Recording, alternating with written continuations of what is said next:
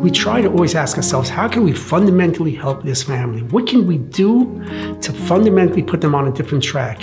Instead of just helping somebody at the level when they're at a crisis to fix the root cause of the crisis so that they can support themselves. While a box of food at the door is a beautiful thing, and I guess it's what we're known for best, we need to think beyond the box.